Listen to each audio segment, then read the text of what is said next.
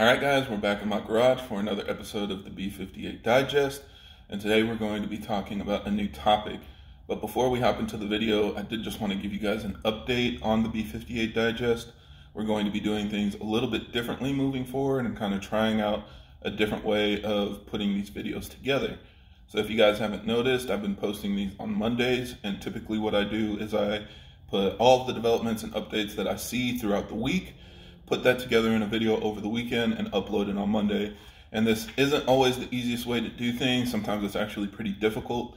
And especially on a week like this week, where you guys have seen literally all of the tuning companies are coming out with updates at the same time, it makes it hard for me to make a good video that isn't like 20 plus minutes long. So I'm going to be releasing more videos that are hopefully shorter length and more focused on individual topics so that way, you know, if you guys are only interested in a specific platform, then you don't need to watch, you know, all the videos.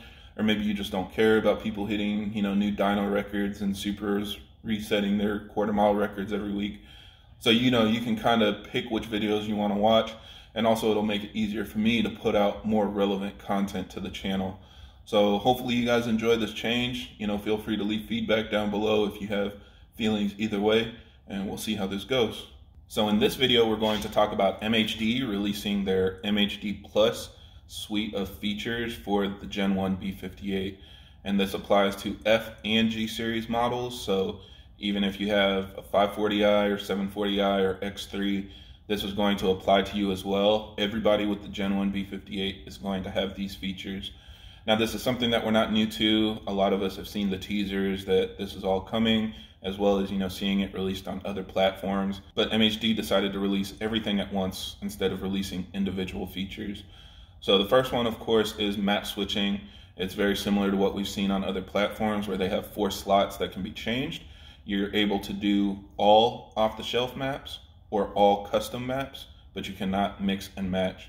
Now, I saw some people asking why this is separated like this, and Odin Tuned actually commented that this might be because when you add your map to a multi-map setup, you're going to be able to see all of the tuning calibrations for all of the maps. So if you're able to mix an off-the-shelf and custom map in the same map switching slots, you'll be able to see the off-the-shelf map calibrations. And most tuning companies wouldn't want you to be able to see that. So I think that makes sense. There might be other reasons as well, but just note that it's probably not going to change anytime soon. So they have stage one and stage two multi-maps as well as custom enabled. They are not releasing a multi-map option for the stage two high pressure fuel pump maps yet. They're still updating those calibrations because they feel like there's a really big difference between the 102 RON tune and the E30 or E40 maps. So they're going to do more work on that just to make sure that it's a clean switch between those two. But yeah, right now we do have at least some capabilities for map switching. You're also able to adjust the power slider, so it allows you to go from 60% all the way up to the full 100%. So I believe if you have a custom map, that'll be a really nice way to have maybe like a low power daily tune and then a 100% full power race tune. Of course, if you're doing a custom map, you can just do a low boost and high boost tune and switch those back and forth. But with the off the shelf maps, it's also nice as well maybe you want like a lower power tune for the winter months or whatever the case may be. Um, you guys know me, I don't do daily maps or low boost maps. I just run full power all the time, but a lot of people I know really wanted that feature. And then you're also able to do custom burble settings. So if you want aggressive burbles on a specific tune, like gunshots, you can set that up as well.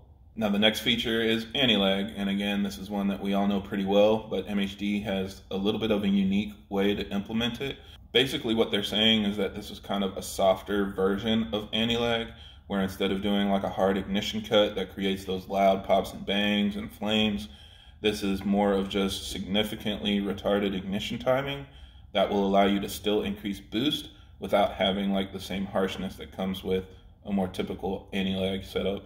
So they're saying that this won't even blow out cats and that you can do this with like a high flow downpipe and it has a lot of safeties built in just to prevent you from you know abusing it and potentially damaging your car it also has a boost limiter that a lot of people have noticed. It only lets you build up to like 16 psi um, that can be adjusted in a custom tune but for the off-the-shelf maps they have that limited to try to protect things. So it's a little bit different. I know some people aren't a fan of it not making all the loud pop and bang noises but it's still cool that it works and if it does work with high flow cats that's obviously a big benefit for you guys as well. And another common question that I get, and they do confirm that this works with launch and roll racing. So you can do it at a stop or you can do it while you're driving. Now, the last feature that they're adding is flex fuel. Again, this is the same situation that you've seen with all the other cars.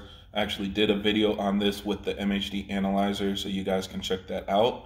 Again, the analyzer that I used is not B58 specific, so if you want their analyzer, you'll need to wait a little bit. They're putting the kits together so that they can have all of the wiring and hoses completely set up specifically for Gen 1 B58 cars. So that will be coming soon, and you can see that on BEMECU's website.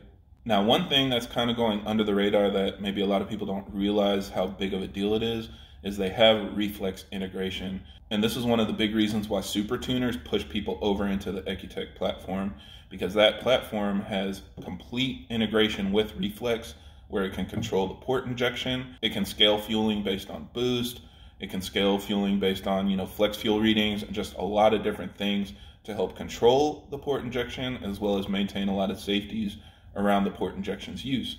And so MHD has a lot of that integrated now, and it's actually the only Gen 1 B58 platform that's doing that at the moment. So what you're going to see is you actually have complete communication to the CAN bus with the reflex readings. You'll be able to get errors and put the DME in limp mode if there are any issues with your port injection.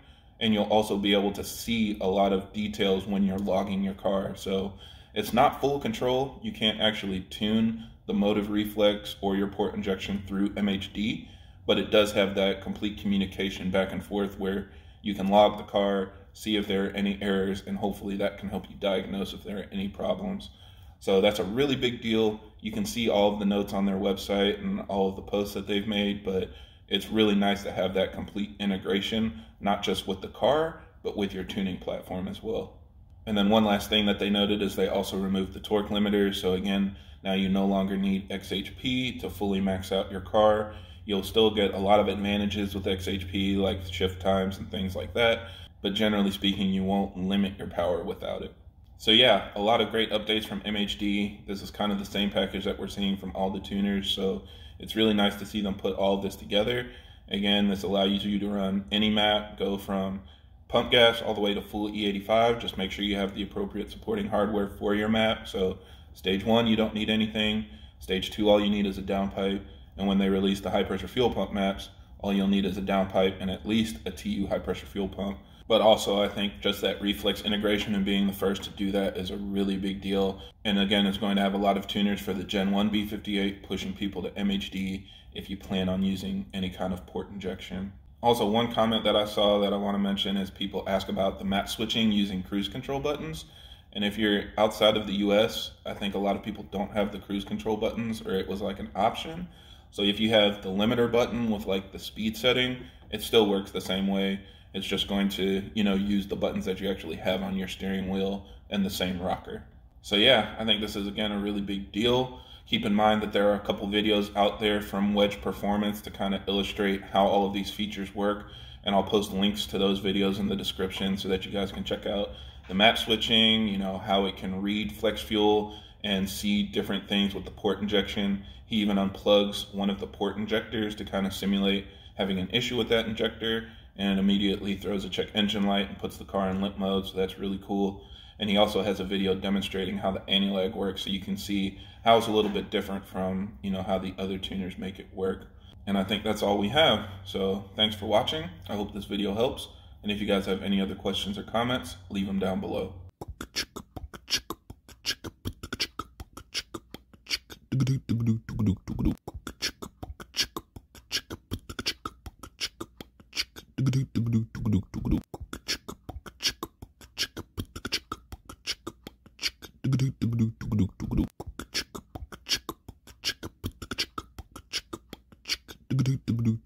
do